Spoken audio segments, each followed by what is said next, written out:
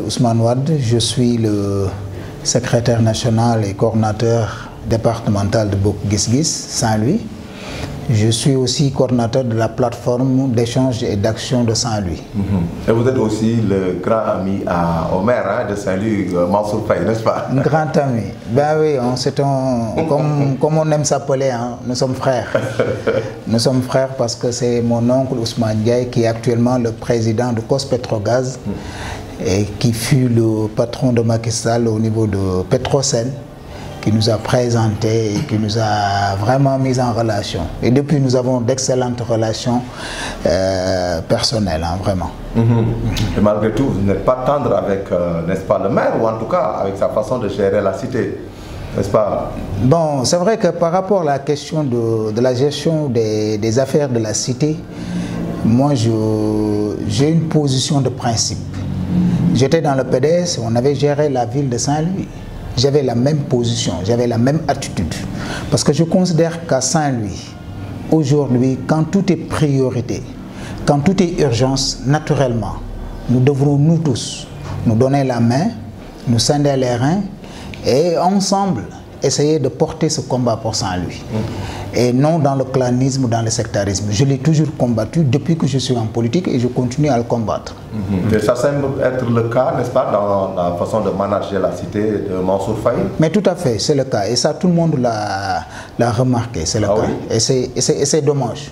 Parce que moi, je fais partie, je rappelle très souvent, j'étais le euh, leader des As de la République. J'étais le coordinateur.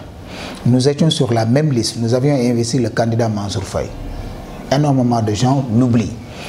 Donc, euh, pour être ensemble, on avait tenu une rencontre qui avait duré 4 heures de temps dans un hôtel. Son équipe et la, et, et la nôtre. Nous avions échangé sur les questions essentielles par rapport, par exemple, à l'avancée de la mer, par rapport à la brèche, par rapport au périmètre communal, le chômage des jeunes, etc.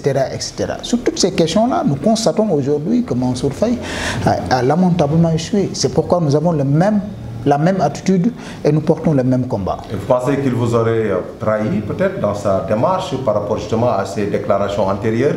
Trahir, non, je ne pense pas. J'ai l'habitude de dire que cette, euh, ce concept de trahison, je ne l'aime pas en politique. Pour moi, il n'y a pas de, de- de trahison.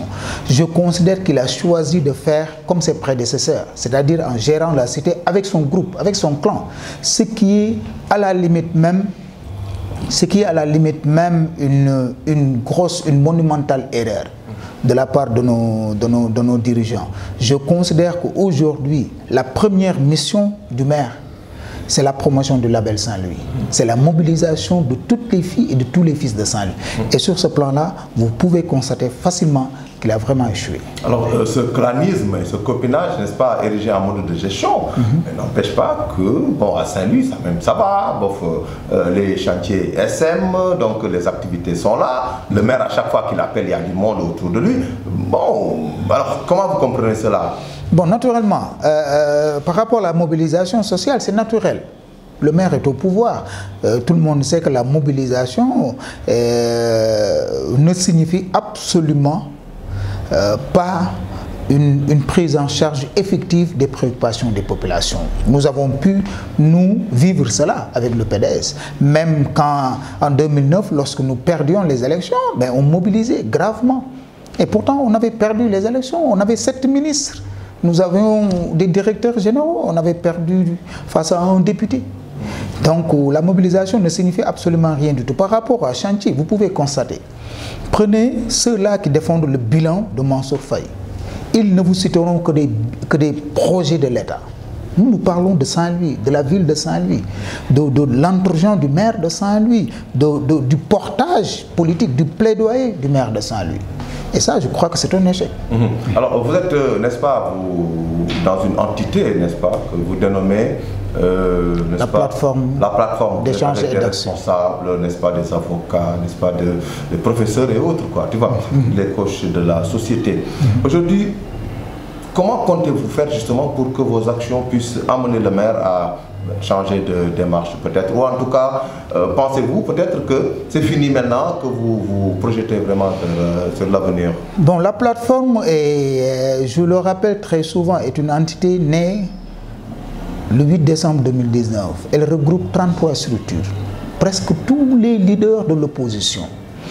Les mouvements de la société civile comme Yanamar, comme Arlunu Boko, euh, et des leaders de mouvements citoyens. Nous avions pu constater à un certain moment que naturellement, c'est à partir de l'échec du maire de, rassembler les filles et fils de Saint-Louis que nous avons compris qu'il nous fallait proposer une alternative. Et c'est dans ce cadre-là qu'on a réuni tous ces leaders pour parler de Saint-Louis. Objectivement, au-delà de nos clivages partisans, au-delà de nos appartenances politiques, qu'on puisse parler de Saint-Louis et seulement de Saint-Louis.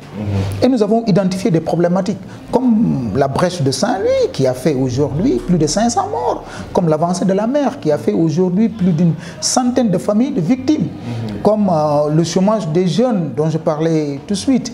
Euh, il y a les infrastructures sanitaires, comme l'hôpital de Saint-Louis qui est aujourd'hui dans un état de délabrement euh, très avancé. Il y a aussi euh, toutes ces écoles en ruine. Donc c'est énormément de problématiques que nous avons jugé prendre, devoir prendre en charge.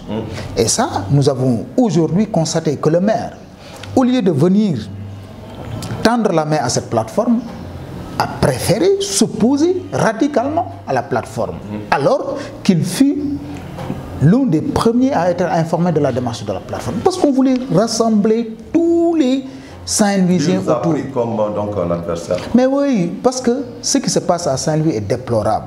À chaque fois qu'il y a des lanceurs d'alerte, qu'il y a des, des activistes par-ci, on traite tout le monde de politiciens encagoulés. Et vous savez très bien que nous n'avons pas besoin, nous n'avons pas besoin de, de la plateforme ou bien de nous cacher quelque part pour donner notre point de vue par rapport à la gestion de la cité, pour pouvoir espérer diriger cette ville. Donc, Nous sommes- donc, ce n'est pas pour taper dans l'œil de Mansour Faye. Non du tout, dans- non du tout, parce que la plateforme est assez représentative.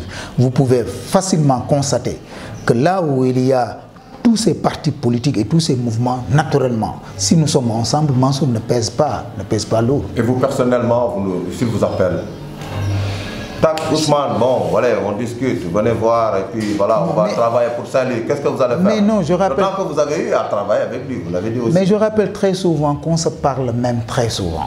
Sur des questions de Saint-Louis, on se voit. Je peux en citer énormément. Sur des questions qui interpellent Saint-Louis et les Saint-Louisiens, au-delà de nos, de nos contingences politiques. On s'assied, on se parle, je lui donne ma- ma- ma- mon, point de vue en tant que responsable politique, et lui, il, il prend ce qu'il veut, parce que c'est lui qui gère. s'il vous appelle. Par rapport à la question de Saint-Louis, Bon, par rapport à la question de Saint-Louis, il ne peut pas m'appeler pour, pour, pour, pour, pour, pour des échanges. Non, il appelle la plateforme.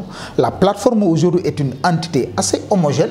S'il vient euh, voir la plateforme, on pourra toujours trouver des plages de convergence pour pouvoir échanger. Alors, au sein de cette euh, plateforme, justement, où véritablement il y a une belle euh, osmose, hein, peut-être, euh, et ce bel ensemble, cette- cet assemblage, n'est-ce pas, d'idées, aussi- mais aussi d'ambition, ne risque-t-il pas de se disloquer, de se désagréger avec justement l'échéance des élections locales de 2022 D'autant que vous êtes tous, n'est-ce pas, candidats, n'est-ce pas, au fauteuil de maire.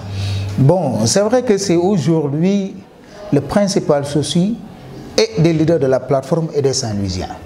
Parce que les populations nous ont vus ensemble et ont magnifié, ont magnifié vraiment cette, euh, cet élan de dynamique unitaire.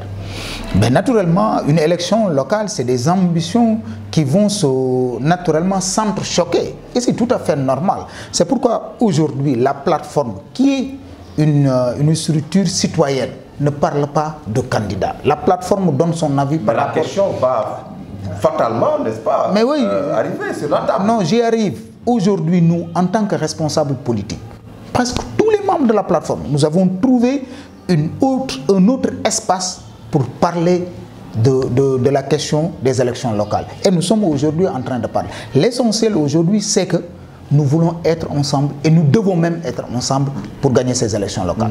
Oui. Être ensemble, l'opposition, à Mais- Saint-Louis, euh, il ne va pas se poser un problème de leadership, n'est-ce pas?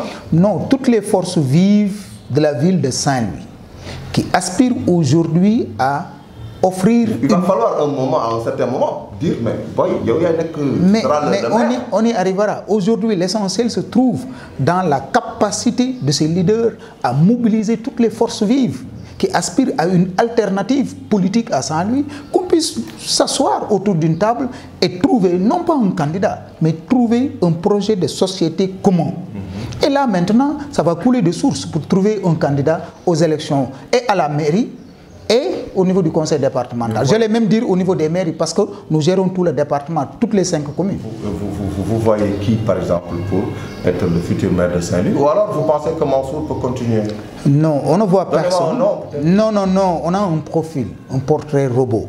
Nous voulons un maire assez ouvert, un maire rassembleur, un maire résident, un maire euh, qui puisse aujourd'hui jouer euh, porter le plaidoyer pour une coopération décentralisée très ouverte, très audacieuse, etc. etc.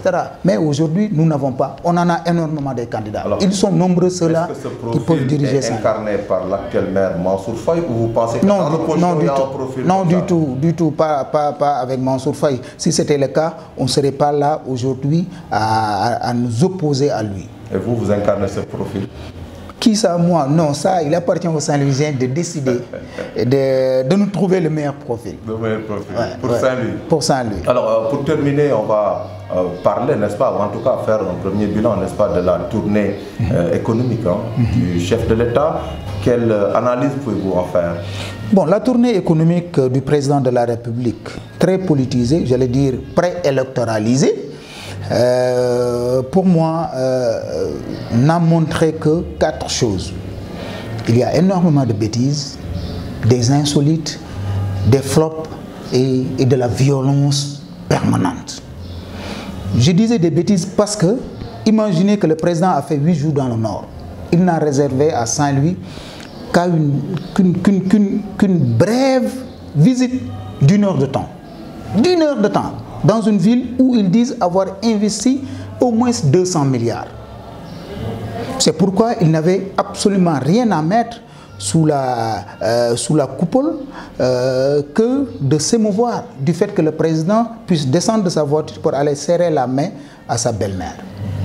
J'ai dit, nous, nous serions émus si le président s'était arrêté au stade Maître Babacar pour traverser cet état d'immondice et aller serrer la main à ce brave inspecteur des sports qui a toujours ses bureaux.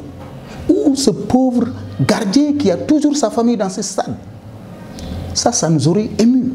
On se serait ému si, par exemple, le président s'était arrêté à Sine pour aller serrer la main à Mamfagi, transformatrice de poissons, dans la fumée du ketchar, pour lui dire vraiment euh,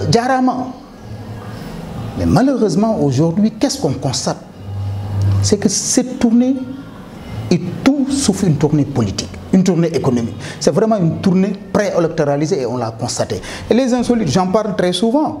Euh, les gens de Beno Bokoyakar nous avaient habitués à ces slogans. Euh, mais aujourd'hui, je constate qu'ils sont passés du slogan au Djouf. Djouf euh, Et c'était c'était pour nous montrer qu'ils étaient tous capables de faire du, du langue car, quoi, de l'apprenti car. Ils étaient tous accrochés à la voiture du président. Et c'était un privilège réservé aux seuls membres authentiques de la paire. Les, leaders transhumants n'avaient pas ce privilège, cette faveur. Et ça, c'est des, insolites dont tout le monde parle aujourd'hui. Des flops, ça, part du, euh, du discours chaotique et chaotique du ministre de l'Enseignement supérieur à, ce pont de 1200 km dont parle le président de la République. Un pont de 1200 km, on ne sait pas où ça se trouve au Sénégal. Alors je parle de la violence, je termine par ça, et je le, parle, je le dis avec, avec, avec regret. Nous avons été surpris par cette violence inouïe qui accompagne le président de la République. Rendez-vous compte que des populations conduites par Nazir, par, par, par, par Adam Guindo, ont été lâchement bastonnés à Khariala. Tout simplement parce qu'ils réclamaient leur toit. Imaginez que Adja, euh, Aïda Sall a été bastonné à Ndelebouy tout simplement parce qu'à Ndiaye on réclame l'évacuation de l'oignon. Imaginez cette violence qu'on a retrouvée dans le Podor. Je considère aujourd'hui que c'est dangereux même pour le Sénégal. Cette tournée économique aujourd'hui n'a fait que réveiller, encore une fois de plus, ce, ce sectarisme qui dort dans ce pouvoir qui nous dirige. Et c'est lamentable.